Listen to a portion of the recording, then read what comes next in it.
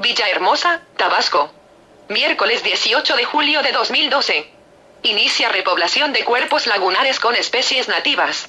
El programa tiene el propósito de conservar las especies nativas como la castarrica. Para estas acciones la SEDAFOP invertirá 6 millones de pesos.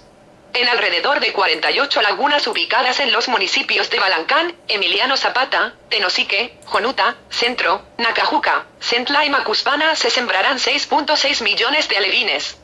A partir del 23 de julio, la Secretaría de Desarrollo Agropecuario, Forestal y Pesca, SEDAFOP, iniciará el programa de repoblación de cuerpos lagunares con especies nativas iniciando en 17 lagunas de los municipios de Centro y Nacajuca en el que se sembrarán 250.000 alevines.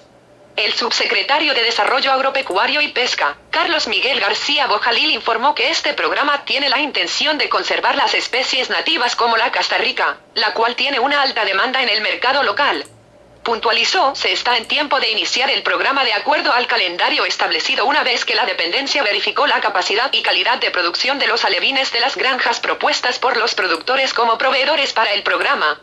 La repoblación de especies nativas iniciará el lunes 23 de julio con la entrega de 250.000 alevines en las lagunas Barrasiega, El Maluco, Italito, El Corcho, Río Ismate, Sabanas Nueva, La Vigía, Pajonal, Arroyo El Zapote, El Tintal, El Pozo, El Pucté, El Horizonte y La Arena, todas ellas localizadas en el municipio de Centro.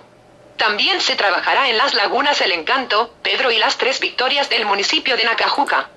El programa de repoblación de cuerpos lagunares con especies nativas tiene un techo financiero que asciende a los 6 millones de pesos, en el que alrededor de 48 lagunas ubicadas en los municipios de Balancán, Emiliano Zapata, Tenosique, Jonuta, Centro, Nacajuca, Centla y Macuspana se sembrarán 6.6 millones de alevines.